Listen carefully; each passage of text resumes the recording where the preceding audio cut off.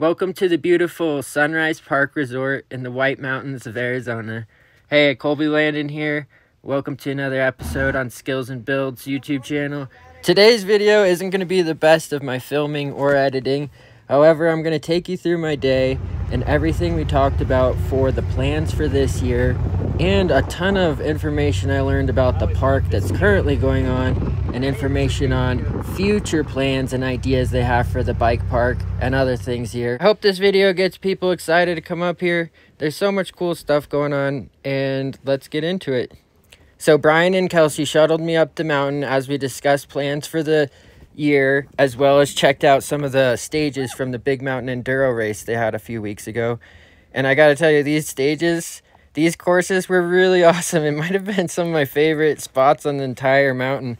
And also, um, this is actually on the mountain over on the on the Apache Peak um, next to um, the lift that's currently going. So actually, in the next um, year or two, they're planning on opening another lift. So we're actually gonna have three mountain bike lifts.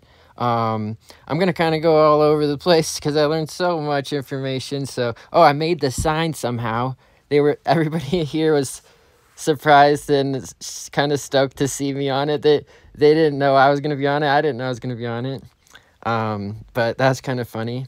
Anyways, um, Brian's told me they're up to around 20 trails that are currently open at Sunrise. Um, it's pretty amazing. Um, like I said, uh, they're going to open up another mountain in the next year or two, which will be a whole new experience and a whole new set of terrain as well. Each mountain has completely different terrain, really.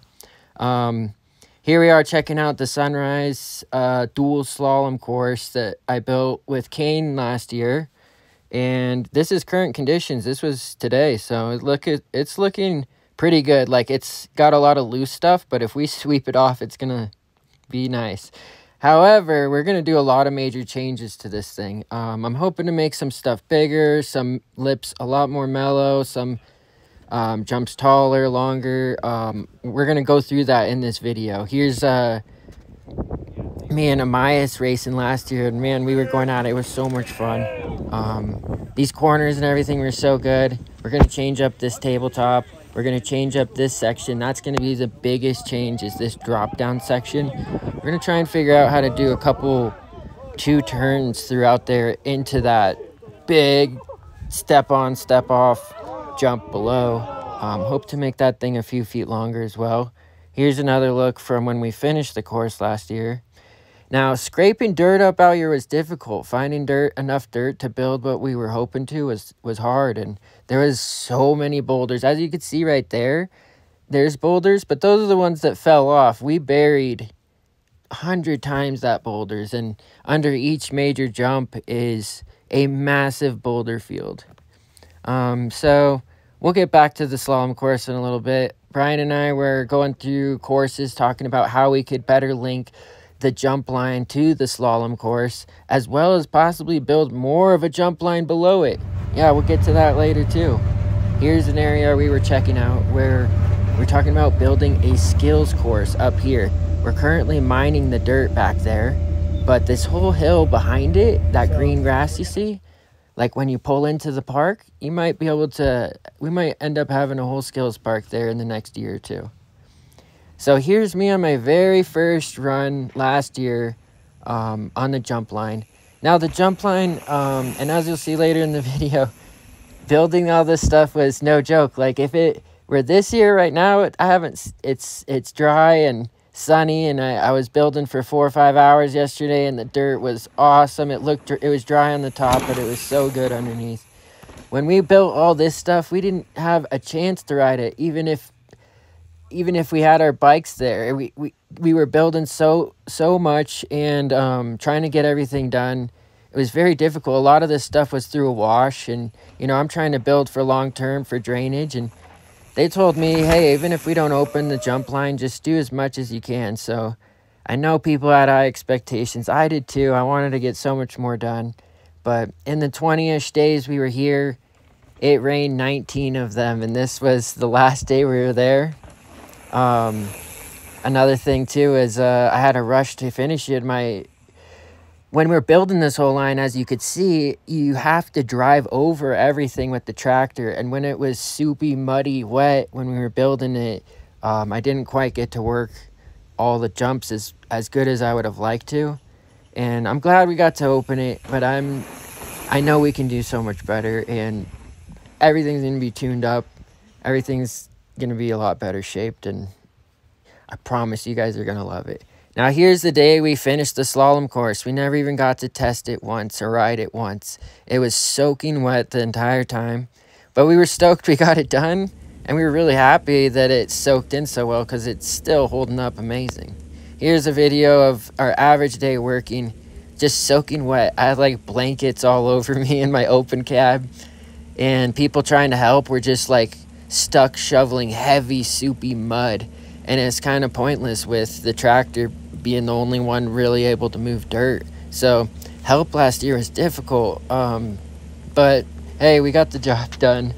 Um, no joke, it was raining every day. And, and the thing too was it would rain around 12 to 2 p.m. really hard for, for let's say 45 minutes to two hours. And then sometimes it'd rain two or three times in a day. And, um, that just gave it all kinds of new challenges traction wise. My tractor was the only one to make it up the mountain. We were grabbing dirt from the bottom of the hills and doing five to ten minute runs for one scoop, one and a half yards, two yards, maybe three with the mud piled super high, three yards of dirt per scoop. Just just a crazy amount of effort just to get dirt. I couldn't go ripping this mountain apart any more than the course itself and I didn't want to. That's that's not my idea of good building and there was just a lot of obstacles. This area in particular, like right where I'm standing, was a massive boulder field that took days to work through. Um, you just never really know what you're going to find underneath the dirt. Sometimes you find a pocket where it's amazing and you got to change plans along the way a lot of times. That there we go. There's a there's a scoop of dirt for you guys. Go all the way up and down the mountain. My tractor goes like six, seven miles an hour, full throttle, and not that fast uphill. So it's just uh, dealing with circumstances. We have better circumstances this year. Drier dirt, better working areas up higher on the mountain where both courses are is better conditions overall. So I'm able to work through stuff a little better, a little faster um, anyways, uh, certain sections and certain times, man, it couldn't have been any better. But when all that mud dried into the tracks every day and pressure washing and digging it out, there was like a foot thick of mud under my tracks every day. It took at least an hour to clean. Um, otherwise, it would get so wound up in there, it'd start scraping all all over my tractor and stuff. It, was a, it was a difficult challenge to deal with. There's some uh, speed for you on my tractor. That's, you know, when we ran out of the dirt on, on the actual course, and I was scraping the roads for dirt up there for miles, probably. but, um, just doing anything I could to keep things looking nice and clean and, um, you know, make the most of it. I would have ideally liked to have hundreds of loads of dirt at the top, at the everywhere on the course, but it just it just couldn't happen out here.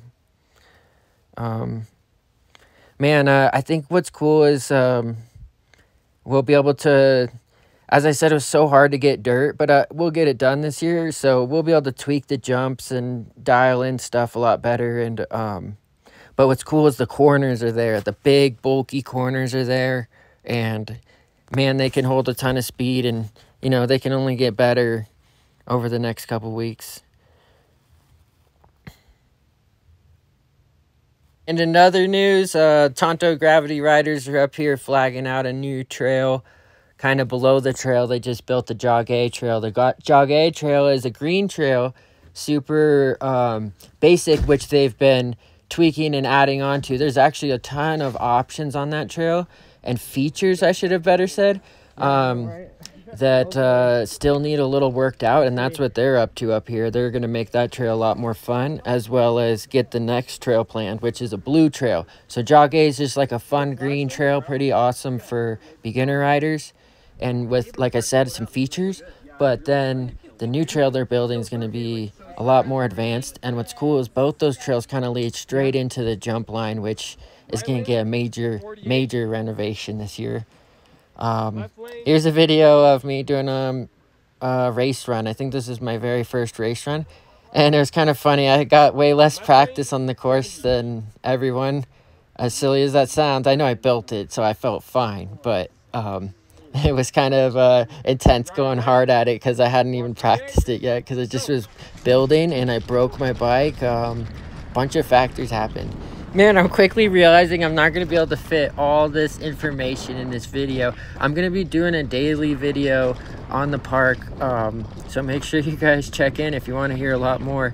I got to say one last thing is when I got here, there's more tents set up. The area was so much more beautiful.